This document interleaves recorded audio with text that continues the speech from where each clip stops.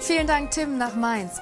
Große Sorge um Karl Moik. Er musste vor kurzem schon wieder am Herz operiert werden und hat mit Komplikationen zu kämpfen. Mehr dazu erfahren Sie jetzt bei uns. Willkommen, liebe Zuschauer. Ich freue mich, dass Sie dabei sind. Karen Webb hat diese Woche frei. Sie ist dann ab Montag wieder für Sie da. Karl Moik wäre vor einem Dreivierteljahr beinahe an einem schweren Herzinfarkt gestorben. Die Ärzte hatten ihm damals eine Überlebenschance von nur 10 Prozent gegeben. Trotzdem konnte er sich wieder zurück ins Leben kämpfen.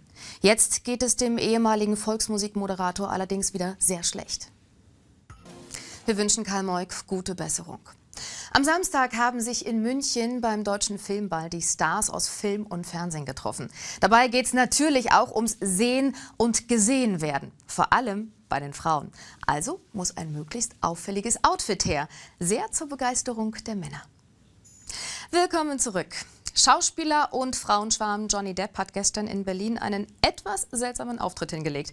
Irgendwie stand er ein bisschen neben sich, als er in der Hauptstadt seinen neuen Film vorgestellt hat.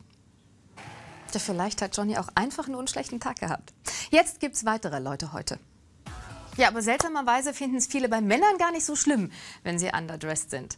Modedesignerin Vivienne Westwood kann sowas nicht passieren. Sie wirkt oft sogar overdressed mit ihren skurrilen Outfits. In Mailand hat sie jetzt ihre neueste Männerkollektion präsentiert.